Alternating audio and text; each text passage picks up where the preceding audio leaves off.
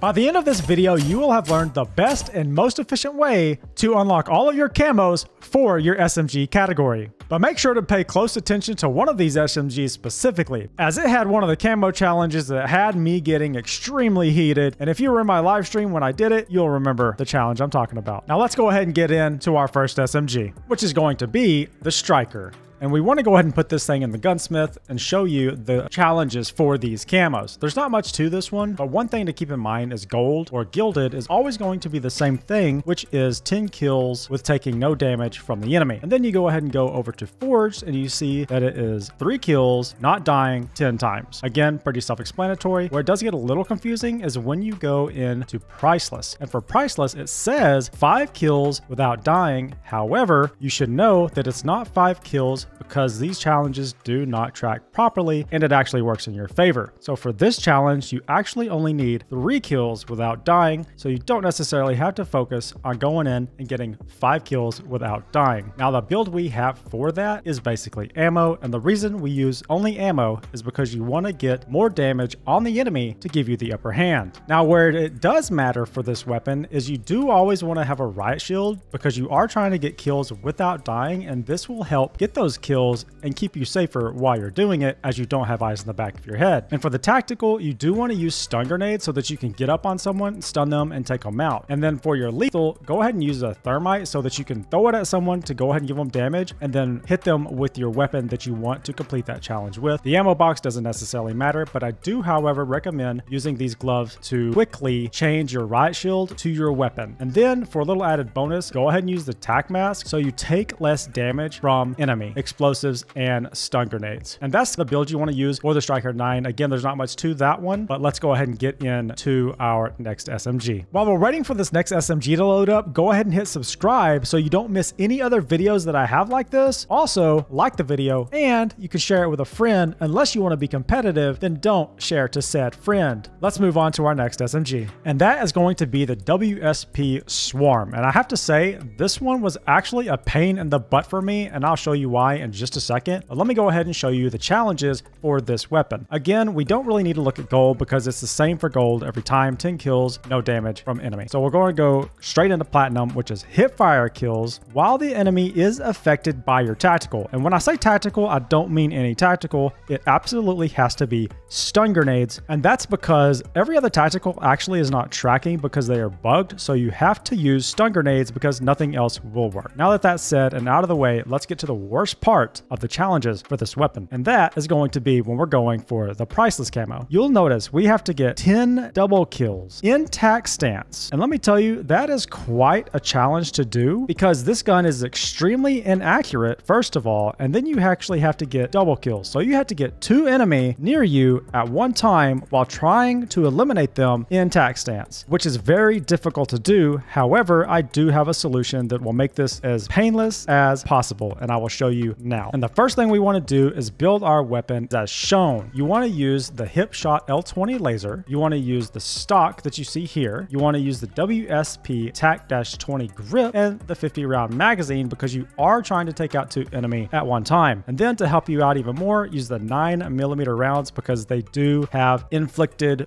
wound damage. And these attachments shown here actually help out tremendously with tac stance. And on top of that, to help you out even more, what you want to do is go ahead and use the engineer vest because that gives you two tacticals. And if you want another tactical, go ahead and throw on the munition box. So that gives you a total of three tacticals as soon as your munition box is charged up. And for the gloves, it really doesn't matter that much because you're not going to get any benefit from any other gloves, in my personal opinion. However, for the boots, you do want to move fast to get up on two enemy at the same time, so you need to run up on them after you have used your stun grenade to stun them. That is extremely important. And then you want to be able to find those enemy by using the black light so that you can see the footprints of said enemy that you want to eliminate. And last but not least, you want to go ahead and use the tac mask because you are throwing stuns and you want those stuns to not affect you. You only want them to affect the enemy and the tac mask helps out a lot with that. As you see here, it says reduced strength of enemy flash, stun, and gas grenades, immunity to shock, EMP,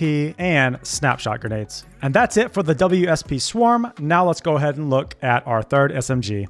And now we go from one of the most difficult weapons to one of the easiest weapons. And I want to show you that this one really, we don't have to go over too much. I'm going to show you what we need to do. For gold, again, it's the same, not going to talk about that. But for platinum, you do need 10 kills shortly after ADS. And that's why we had this weapon built as shown. And I will show you that in a second. But then for priceless is an interesting one. And this one is actually kind of confusing to me for just a second, but it didn't take me long to figure out that getting 10 kills without being in sight of the enemy, really all that means is just shoot them in the back and you're good to go. Or if you see someone running in the distance, shoot them and you're good to go. I highly recommend playing hardcore to get this challenge completed. And to help out with that challenge, I'll go ahead and show you the build we have here. It's basically just built for speed with this barrel, the stubby stock, the phantom grip, and the 20 round magazine. Because as you are playing hardcore, you really only need one bullet to eliminate a player. And that's basically it for this weapon. Moving on to number four, we have the WSP-9. And you don't need to do much to this weapon as far as building it. You just want to go ahead and put a suppressor on there. I recommend the first suppressor slot as it does not limit your movement. And then you want to throw on the Cronen Mini Pro and I'll show you why we use those particular attachments right now. Don't need to talk about gold, but for platinum, it'll tell you here 10 kills while using a magnification scope. Now what that means is it does not have to be a scope. We went over this many times in my previous videos that you'll find here. It basically tells you that any scope will work. You don't need anything with a zoom in. You don't need a two time, a 1.5, 2.5, anything like that. Just use a red dot scope. That's all you need to do. That's what I did and it counted for the challenge. And then for priceless, you'll notice it says that we'll need suppressed headshot kills. There's two ways you can build a weapon for that. I went ahead and vouched to go ahead and just keep my red dot on there and run as fast as I can and get eliminations by getting headshots. Plain and simple, and that'll be that weapon finished. And moving on to number five, we have the Rival 9. And this one, again, is another easy one. You don't have to do too much, but what you do want to do is throw on the Shadow Strike Suppressor. It is the suppressor that gives you the most movement and doesn't give you any other penalties, but you will need it for the following challenges. For fours, get kills shortly after ADS, and you need 10 of them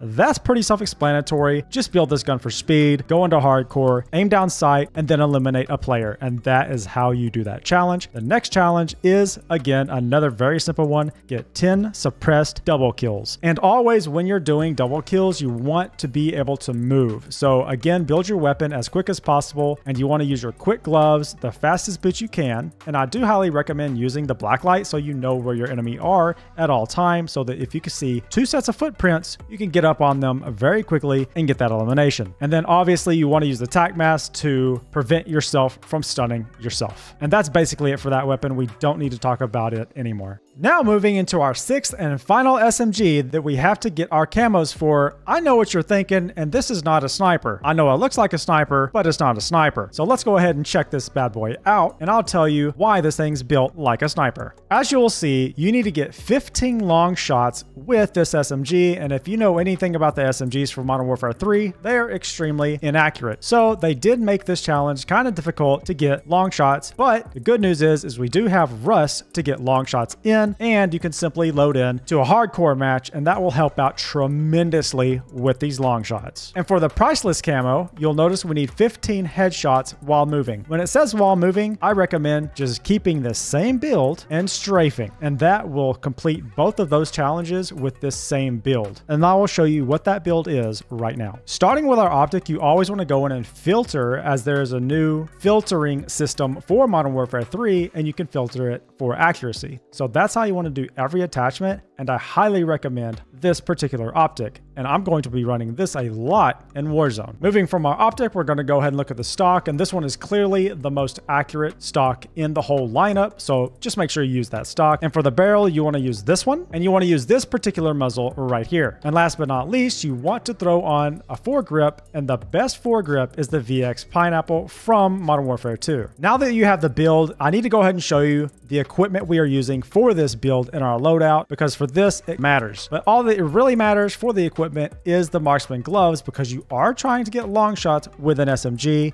and the marksman gloves help you focus or hold your breath longer so that you can get your long shots. Congratulations, you finished your SMGs, and now since you're used to doing long shots, you might as well go ahead and do snipers and marksman rifles, and lucky for you, they're popped up on screen right now.